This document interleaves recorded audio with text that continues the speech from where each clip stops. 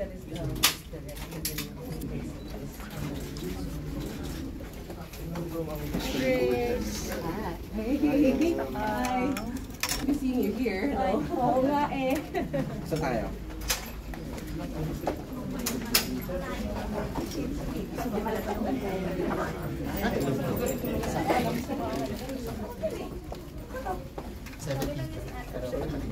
Ang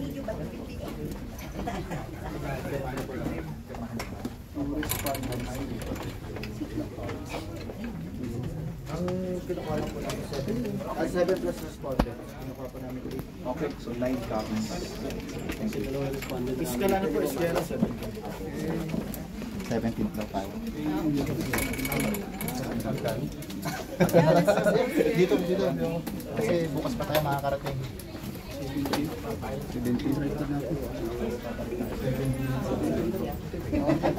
17. Sorry.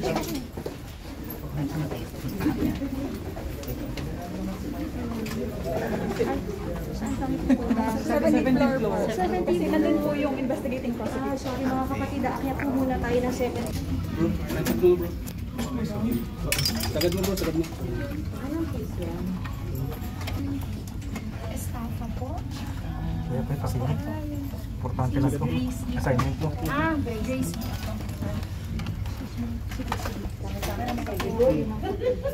sige kayo. Tama.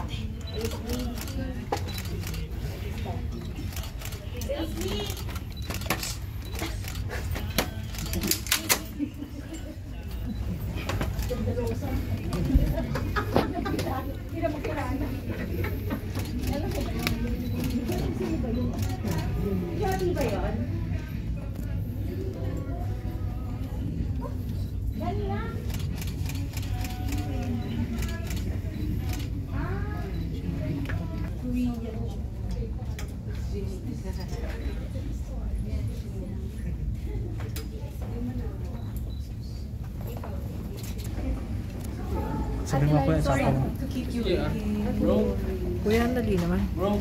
Kanina Yung kami. mic, nasa kanya yung mic. Ito yung mic ni Ate Lai. Ito. Okay, sorry. sorry, sorry. Teka, sandali ito Okay, sorry, sorry. So, lang natin. Ay, ay, naka-on na. Kuya, pwede pa suyo po. Ayan, Thank you. O, teka, kita ba? Ate Flor? Okay na ba kayo? Ay, teka, sandali. Sorry. Yung sa sa yeah, sure. Ito ka na hold it lang. Sige, hold ko na lang. Yeah. Pag, pag ganito. Oo, basta don't, ano, don't avoid pressing this. Kasi Okay. mute. Ah, Mute okay, button sige. Teka, sandali. Ako nawala ng pwesto. Sir, kunti lang cellphone, sir. Kunti lang cellphone, sir. Dito lang, sir. Baba. Kunti lang, sir. Dito, dito. Lang, sir. Kunti lang. Yun, tingin ko. Hold on, hold on. Sorry po, sorry po. I love you. Ayan, dito ako sa gitna. Ito, ito si ABS. Okay, ready? Anytime. Okay, hold on. Time. Okay. Good afternoon, Grace. afternoon. Attorney. Medyo unfortunate lang na sa ganitong paraan tayo Oo nga, nagkita ulit. Oo. But I'm happy to see all of you. Familiar faces. I missed you. At uh, katulad nga ng sabi ko kanina sa'yo na it's unfortunate that um, I'm facing and being in front of the camera this way in Makati Court of all places. So it's very unfortunate and my heart's broken about it. Uh, but through the help of Attorney Garrett Tungkol, um, we've gotten here and we filed a case for what we thought was very necessary. Kwentuhan mo kami kung kung bakit ah, um an- what was the last straw ng pagdidemanda mo? Mm-mm. Kasi ilang beses din talaga kami nag-reach out. Actually, even before I sought the legal counsel no, of attorney, kahit ako mismo personally, ilang beses na ako nag-reach out sa kanila at pati mga tao namin, um, numerous times talaga na kinausap sila ng maayos. No? Uh, and parang they were not willing to negotiate and they did not respond to us. Kaya humingi na ako ng tulong kay attorney. Um, actually, alam nyo naman, I think I invited some of you to the opening of this uh, said business. No? And we opened actually a week before the pandemic. So, isipin nyo yung talagang, sabi nga ni BTS, blood, sweat, and tears that went into this business dahil sa pandemic, no? Lahat naman ng F&B nag-suffer. But I'm very very proud of my team and my um, and my people dahil we survived the pandemic and we came this far at uh, you know, we I was not actually looking into selling the business. Actually sila ang sila ang lumapit, no? And um, it just came to a point wherein hindi nila and no longer sila willing to fulfill their end of the deal. And so it's been six months since the deadline. So isipin nyo rin, talaga yung six months na yan was very, very stressful for me also and my staff. That's why we've seek the best counsel that I could get. Mhm. Okay. Rewind lang tayo. Anong pinag-uusapan nating negosyo dito, Grace? We can mention. We can mention the name of the ano, At saka ano yung nangyari? Mm-mm. Para lang ma- malinaw and ma- ma- makuha ng mga tao yung na- maintindihan nila. So, ang negosyong ito ay Shanghai Saloon. So, meron akong dalawang location, no? And uh, itong mag-ama na ito, can I mention their go ahead. uh, Yeah. So. Michael Say and Mr. Morgan Say, actually, their father and son, um, used to come to our restaurant and they seemed very nice. Actually, more than nice. They were very, very nice people to us and I trusted them completely. So, I learned the lesson the hard way, no? And sila pa ang lumapit sa amin, sa akin personally, actually sa staff ko muna, and they asked for uh, my staff to introduce me to them as the owner, uh, pakilala sa akin, at mukhang maayos naman.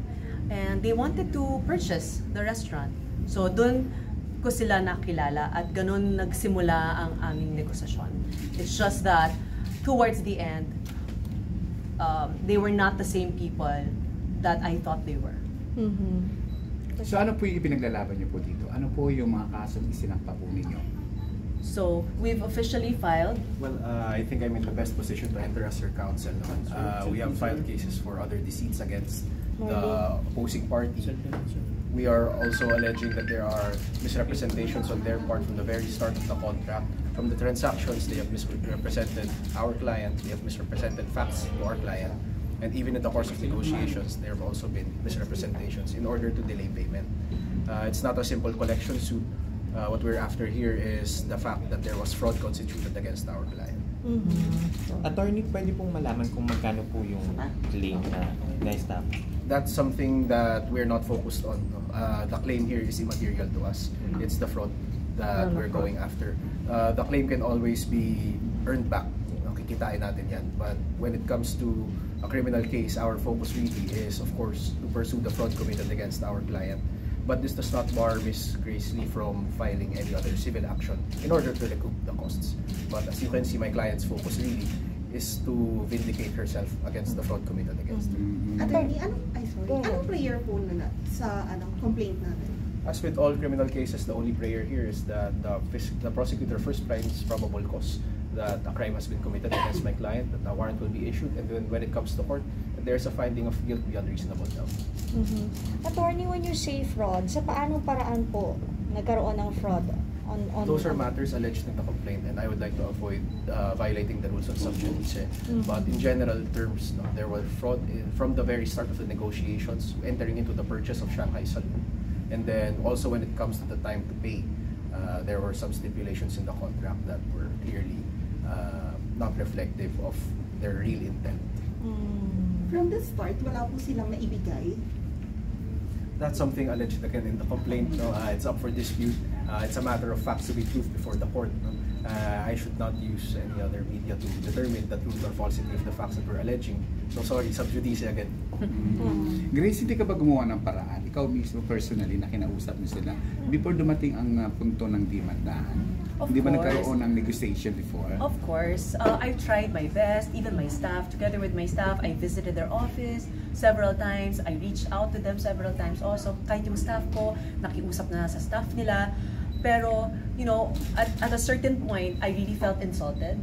Um, I, I, I think that they were dealing with a single woman representing a, a company, no? And I was faced with actually the two of them, Mr. Michael Say and Mr. Morgan Say. And at a certain point, naramdaman ko talaga na they were disrespecting me already and even my staff.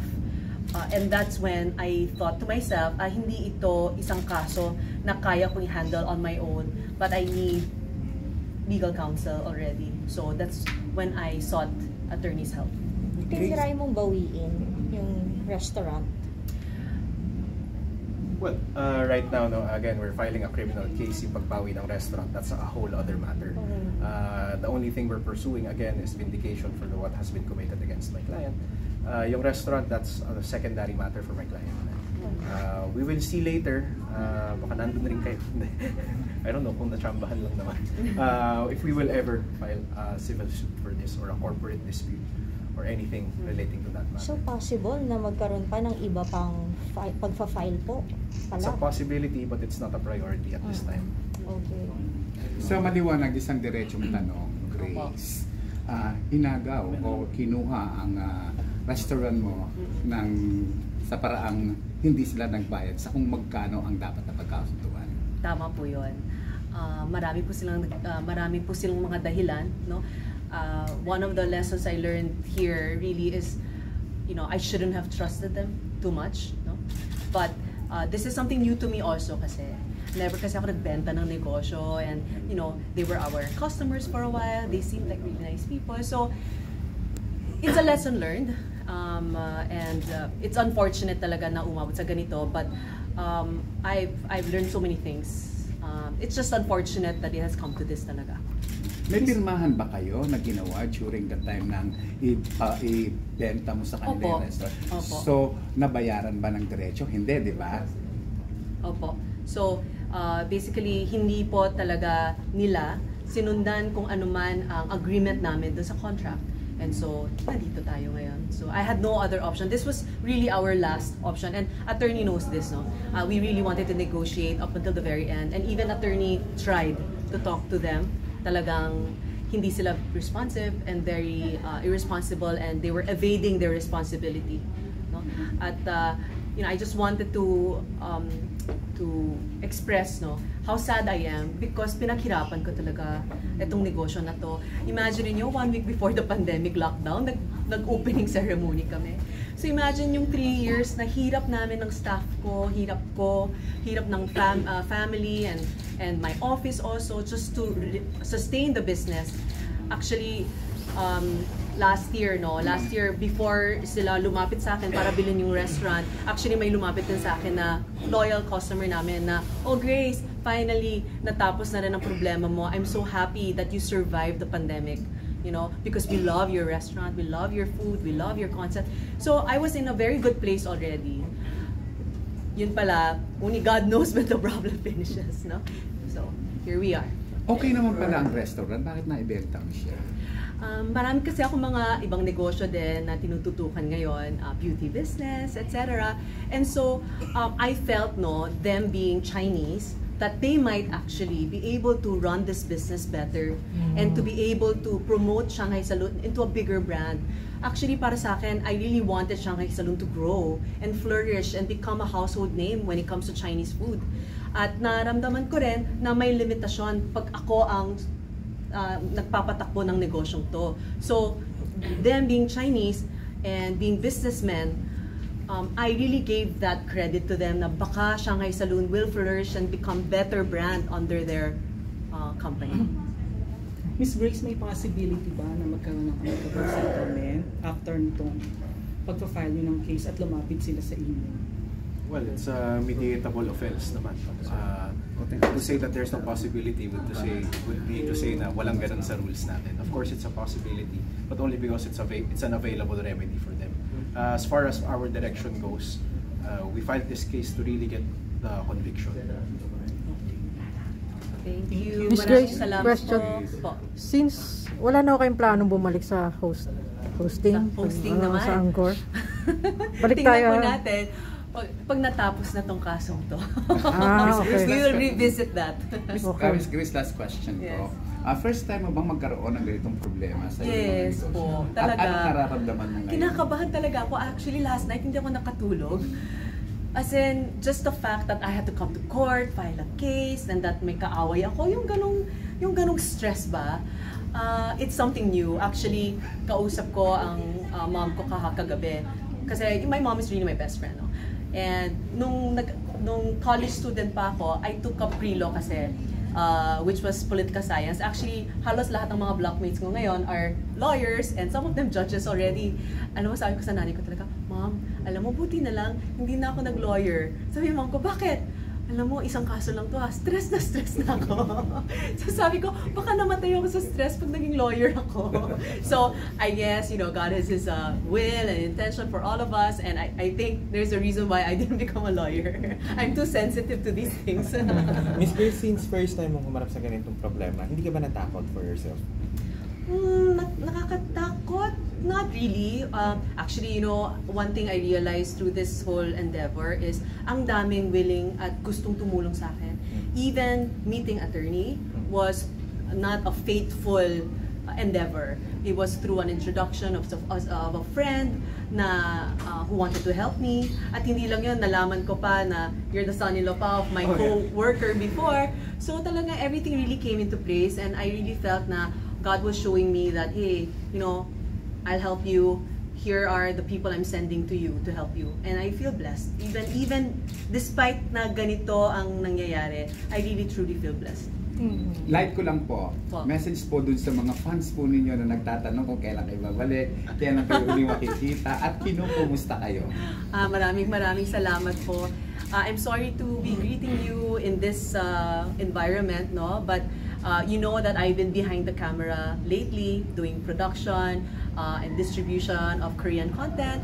So, uh, medyo busy po muna ako being behind the camera, but soon enough, I will greet you again in front of the camera. Balay nyo, mag-Korean telenovela ko. Oh, diba?